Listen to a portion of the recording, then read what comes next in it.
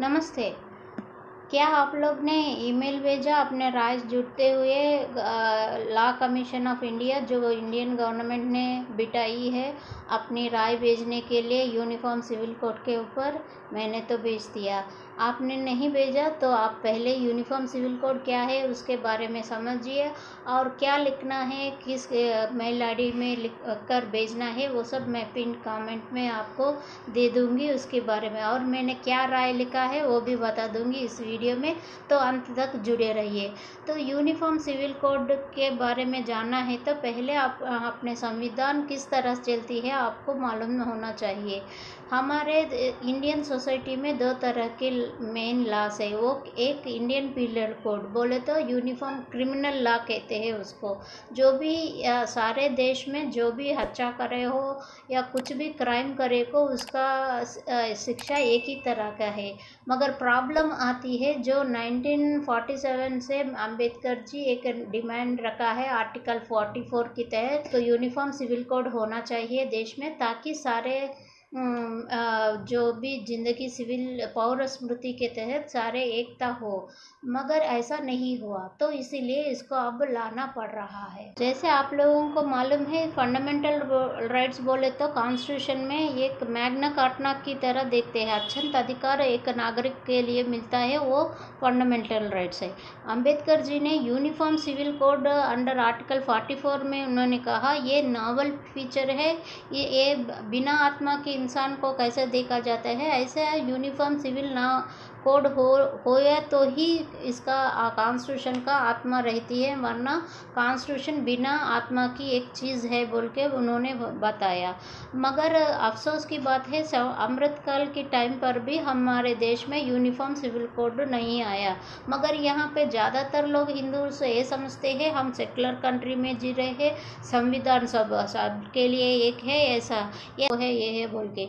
मगर देश दो कानून में चलती है, वो क्रिमिनल लॉ या सिविल लॉ में, जो इंडियन पिनल कोड की तहत यूनि क्रिमिनल लॉ तो सबके लिए बराबर है, मगर देश तब बढ़ रही है जब यूनिफॉर्म सिविल कोड ना होने से।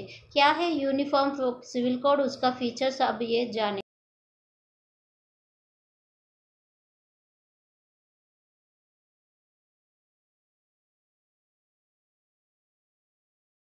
ला कमीशन बिठाया ताकि यूनिफॉर्म सिविल कोड को अच्छी तरह ला सके। तो इसमें आप जन हर एक जनता का राय मांगा है, उसका एक ईमेल आईडी भी प्रावधान कर दिए है। तो यूनिफॉर्म साइलेंट फीचर्स क्या होगी यूनिफॉर्म सिविल कोड का?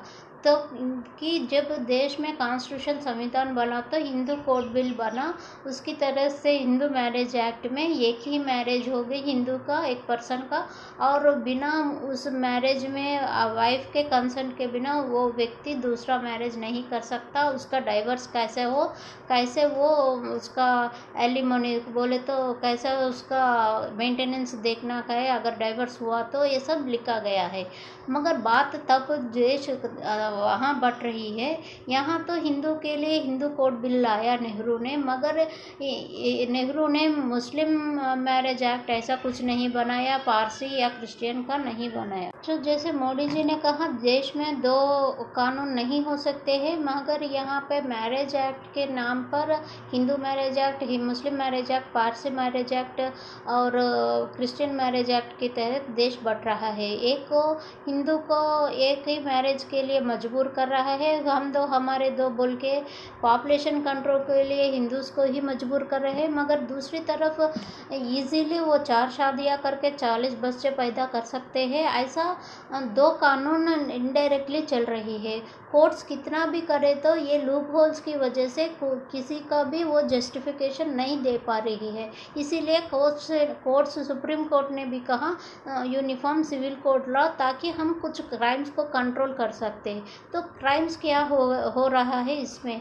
तो क्राइम्स बोले तो पहले इसका क्लासिफिकेशन आप देखिए, इस ड्राफ्ट में क्या है? इसमें पहले ये सारे मैरिजेस एक्ट को कमेंट करके एक मैरिज करके देंगी इस मैरिज एक्ट में क्या होगी बोले तो तुम जिस रिलीजन से के तहत से आप मैरिज करो, मगर तुम एक रजिस्ट्रेशन नंबर की तरह से ही जाना जाएगी। जैसे आधार नंबर, आपको ज़रूरमंद रजिस्टर करना है। अगर आपका शादी कंपलसरी कॉन्स्टिट्यूशन आपको रिकॉग्नाइज करना है तो रजिस्ट्रेशन ऑफ़ मैरिज कंपलसरी होगा। सेकेंड फीचर है कि डाइवर्स अगर हिंदू एक व्यक्ति मैरिज के बाद दूसरा मैरिज करना है तो पहले वाइफ के कम कंपलसरी उनका अनुमति होना चाहिए, वरना डाइवर्स के लिए अप्लाई करके दूसरा मैरिज कर सकता है। अगर इस डाइवर्स में भी वो कोर्स जाकर ही अप्लाई करना है और उसका कोर्स डिसाइड करेंगे कितना एलिमनी उनके जीवन के लिए, उस वाइफ के लिए कितना मनी होना चाहिए, कितना मंथली हो या कंपलसरी कुछ मेंटेनेंस के लिए प्रावधान करेगी। मगर एक कम्युनिटी है मुस्लिम कम्युनिटी इसमें चार शादियाँ मंजूर है। इसीलिए वो फ़र्स्ट वाइफ को बिना अनुमति लेके वो दूसरा मैरिज कर सकता है। और फ़र्स्ट वाइफ को ज़रूरी अगर तीन महीने में बंद कमरे में बैठकर तलाक तलाक तीन बार बोल दिया तो उसको तलाक हो जाती है। उसका कोई मेंटेनेंस के लिए कुछ एलिमनी देने की ज़रूरत नहीं होती। तो इसी देश में दो दो महिला को दो तरह की लॉ फेस कर रही है। बोले तो हम हिंदू के लिए एक लॉ और उसके नेक्स्ट डोर में जीने वाले दूसरे मज़हब के लोग के लिए दूसरा लॉ, ऐसा होना असंवैधानिक है। ये जस्टिफाइबल नहीं है फंडामेंटल की राइट्स के तहत। तो ये ही कोई हिंदू लॉ इस पर तोपा नहीं जा रहा है।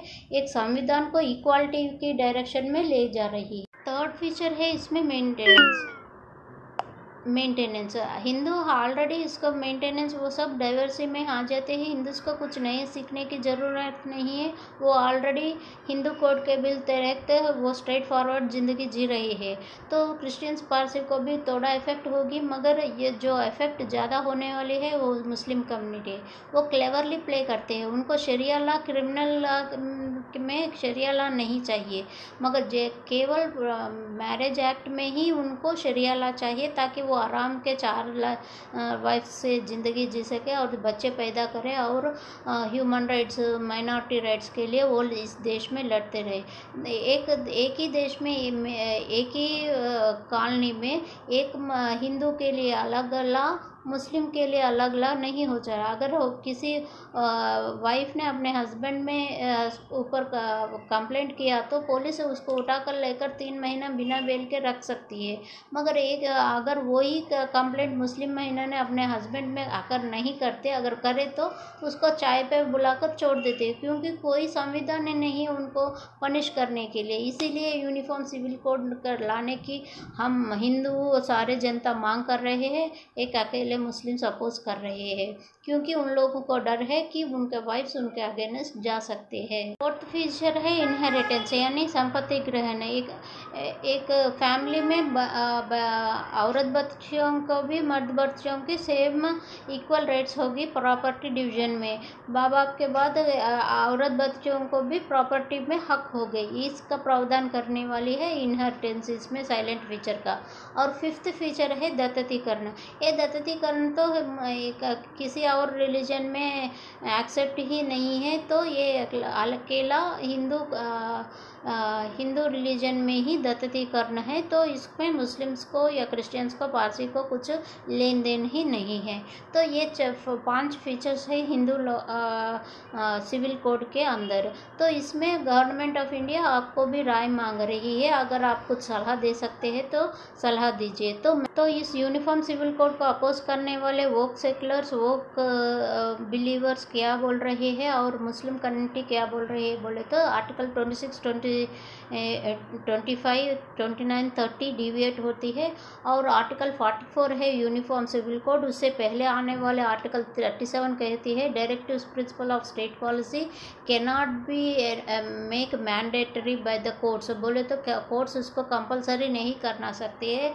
क्या ये पॉलिटिकल ये तो ये तो पॉलिटिकल ड्रामा है बीजेपी का। इसमें कुछ फ़ायदा होने वाला नहीं है। इससे देश बढ़ रही है, नहीं यूनिट हो रही है बोल के बोल रहे हैं। कितना भी हो, मगर ज़रूर ये तो आर्टिकल थर्टी सेवन का प्रॉब्लम है। मगर ओवरऑल द कॉन्स्टिट्यूशन क्या करती है, बोलती है इक्वालिटी फर्टर्निटी सेकुलरिज्म बोल के हमारा कॉन्स्टिट्यूशन प्रियम्बिल में बोलती है। जब वो लोग नहीं आए fifty percent of women population suffering हो रही है तो काय का कॉन्स्टिट्यूशन तो काय का संविधान? इसीलिए यूनिफॉर्म सिविल कोड को रहना चाहिए। हर एक लॉ में ड्रॉबैक्स होगी, मगर हमको गवर्नमेंट को सपोर्ट करना चाहिए। आप ये ऐसे करेंगे, ऐसा मैं उम्मीद रखती हूँ।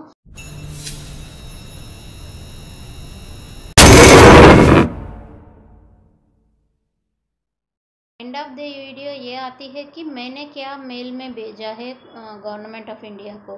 कि मैंने बोला कि सिविल मैरिज एक्ट के लिए ये एक यूनिफॉर्म सिविल कोड बोल के लाने से इनजस्टिस होगी हिंदूज को फिर एक बार। इसीलिए सिविल रिलीजियस एक्ट भी लाना चाहिए, जिसमें सारे रिलीजियस इंस्टीट्यूशन के ऊपर टैक्सेस होना चाहिए, या उसका कोई लैंड के लिए जो जैसे 2014 में कांग्रेस गवर्नमेंट जाते जाते इतने वकफ बोर्ड को इतने लैंड दे दिए कि जो नया पार्लियामेंट बनी है तो इस तरह के लिए वो उनको लिए, उनको परमिशन मांगनी पड़ी है गवर्नमेंट ऑफ़ इंडिया। ऐसा ना हो इसका प्राविधान करे। और जो टेम्पल्स खाली हिंदू का जो भी मंदिर देवालय है, उस पर टैक्सेस होना, उसमें एंडोमेंट्स एक्ट के तहत वो लोग इंटरफियर होना, और दूसरे रिलीजियस में क्राउड मैनेजमेंट तक ही नहीं होना, ये इनजस्टिस है। जैसे हिंदू रिलीजियस में आप गवर्नमेंट घुसती है हाँ, सारे रिलीजियस में भी गवर्नमेंट घुसना है। नहीं तो ही टेम फ्री ऑफ़ टेंपल कर दीजिए बोल के मैंने उनको सजेशन में अपना सजेशन भेजा और उसको आप मैं पिन कॉन्वेंट दे दूँगी आप भी भेजिए ताकि गवर्नमेंट को सपोर्ट मिले। जय हिंद जय भारत।